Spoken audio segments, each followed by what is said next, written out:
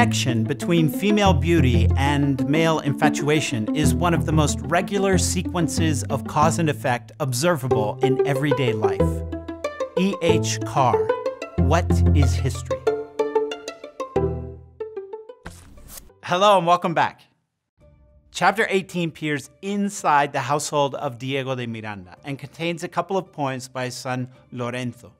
The first thing we note is the chapter's header, which does two things. First, it recalls Don Quixote's original madness by referring to the castle or house of the Knight of the Green Coat, suggesting a certain halfway point between the narrator's perspective and that of Don Quixote. Second, it again mocks critics of Don Quixote Part 1 by adding with other extravagant things, which means extraordinary events, but also anything that might possibly distract from the traditional storyline.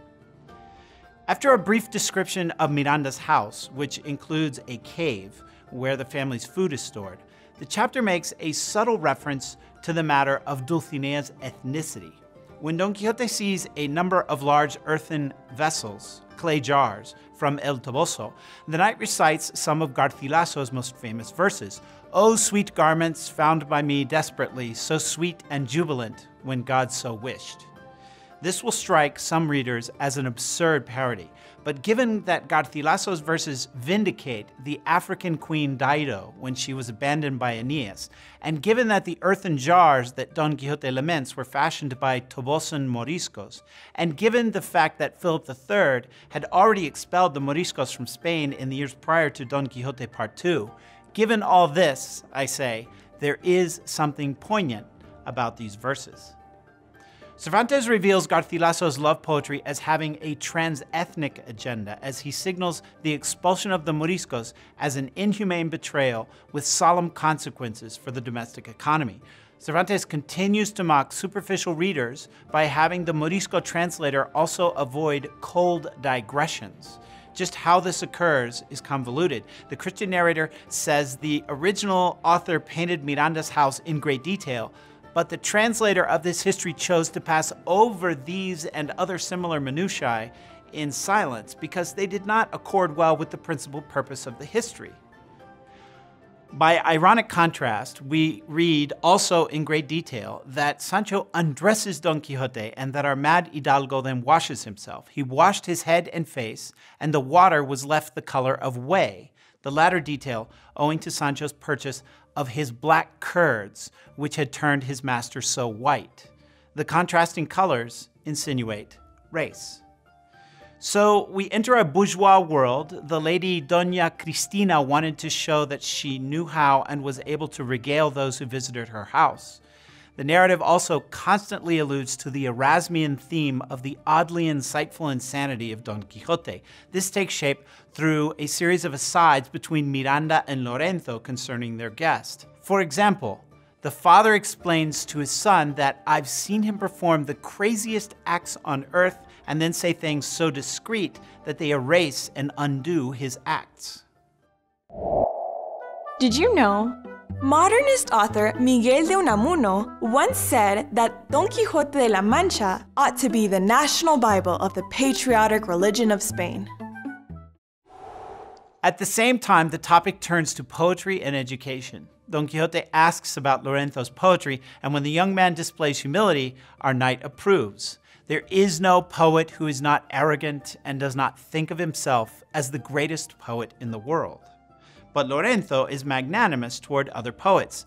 There's no rule without its exception, and there must be some who are great and do not think so.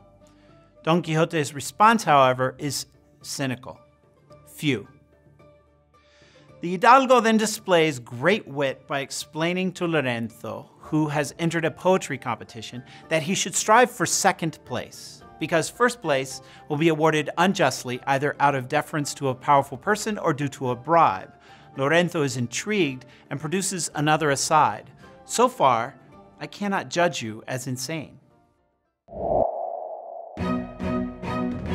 Which poet does Don Quixote cite in reference to the clay jars of El Toboso that he sees at the home of the Knight of the Green Coat? A. Francesco Petrarca B. Garcilaso de la Vega C. Francisco de Quevedo Correct answer B. Garcilaso de la Vega.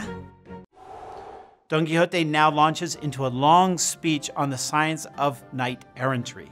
There are new topics here. A knight must be a legal expert, a jurist, with knowledge of distributive and commutative justice, referring to the difficult balance between the rights of the community and those of individuals. Interestingly, Don Quixote avoids the third category of classical justice, that is, legal justice, which involves the state's obligation to its citizens. He also says a knight must be a theologian as well as a physician, which he defines as principally an herbalist. Note this relatively scientific view of medicine. A knight must also be an astronomer, and he has to know mathematics. Don Quixote then cites the virtues of faith, hope, and charity, as well as prudence, justice, fortitude, and moderation. He moves quickly between prosaic and transcendent virtues. A knight must know how to swim and how to shod horses. This is ironic given what we know of the decaying condition of Rocinante's hooves. But he must also be faithful to God and his mistress, and above all else, he must defend the truth even if it costs him his life. This last comment sounds radical, but notice Don Quixote's physical moderation. Has visiting Miranda's household changed our hero? That's all for now. We invite you to watch our next video. Don't miss out on the adventures of the ingenious gentleman Don Quixote de la Mancha. To enroll in the course, click on the novel. To subscribe to our YouTube channel, click on Don Quixote. To watch more videos, click on Dulcinea.